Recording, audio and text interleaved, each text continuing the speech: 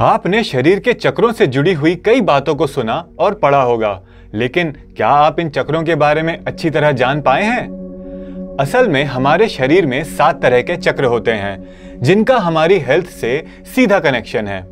ये चक्रा आत्मा, शरीर और स्वास्थ्य के बीच बैलेंस बिठाने का काम करते हैं। ये सुनिश्चित करते हैं कि पूरे शरीर में ऊर्जा का एक जुड़ाव हो और समान रूप से प्रवाह हो।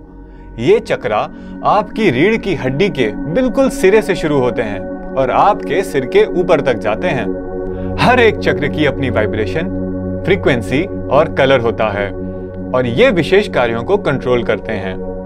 ये चक्र इमोशनल रिएक्शंस डिजायर्स कॉन्फिडेंस और फियर के लेवल और यहाँ तक कि फ़िज़िकल सिम्टम्स और उनके साइड इफेक्ट्स के माध्यम से लोगों को वास्तविकता का अनुभव करने का तरीका निर्धारित करते हैं।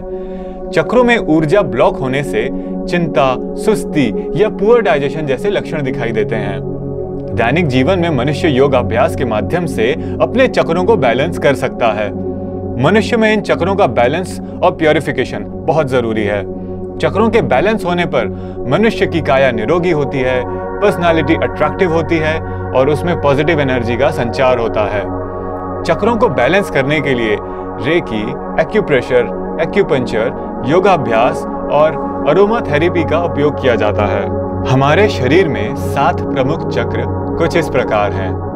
पहला, रूट चक्र, मूलाधार चक्र। इसे मूल चक्र भी कहते हैं। ये चक्र स्पाइनल कॉर्ड के मूल में सबसे नीचे स्थित है और ये रेड कलर को रिप्रेजेंट करता है।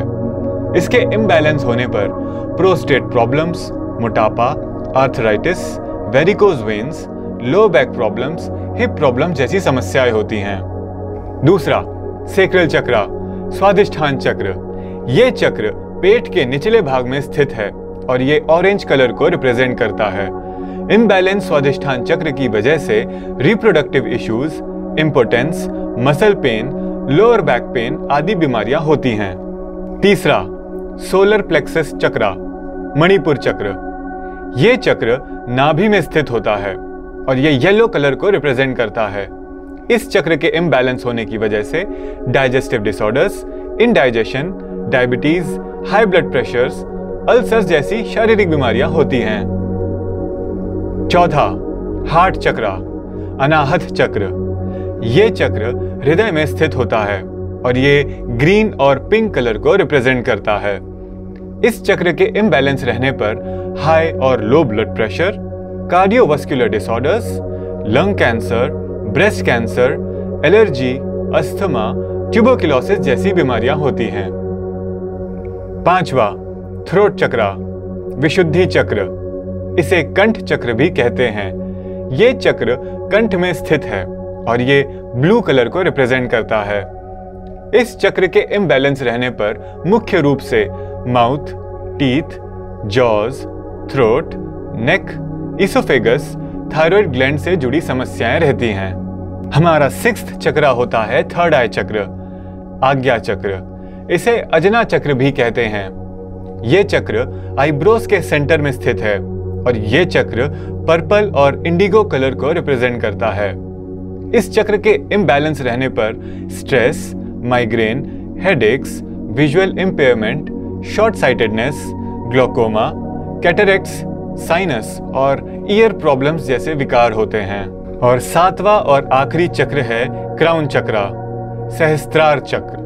ये चक्र सिर के ताज पर स्थित है। इसे शीर्ष चक्र भी कहते हैं। ये चक्र वॉयलेट और वाइट कलर को रिप्रेजेंट करता है। इस चक्र के सक्रिय न रहने पर depression Parkinson's disease schizophrenia epilepsy diseases such as Alzheimer's and headache sadness और डिजीनेस की प्रवृत्ति होती है। इस चक्र को योगाभ्यास के द्वारा संतुलित किया जा सकता है। ये सात चक्र शरीर में शक्तिशाली बिंदु हैं। जो आपको जीवन में फ़िज़िकल और इमोशनल बैलेंस बनाए रखने में मदद करते हैं। इस कारण से ये बहुत ज़रूरी है कि आप इन एनर्जी सेंटर्स का नियमित रूप से निरीक्षण करें और अपने व्यस्त दिन में से प्रत्येक में स्पिरिचुअल एनर्जी के फ्लो को बेहतर बनाने के लिए समय निकालें। अगले वीडियो में हम बात करेंगे कि कैसे हम इम्बैलेंस्ड चक्रा को बैलेंस कर सकते हैं। अगर ये वीडियो पसंद आई हो तो हमें कमेंट सेक्शन में ज़रूर बताएँ। ऐसी और वीडियोस को देखने के लिए हमारे चैनल को सब्सक्राइब करना ना भूलें।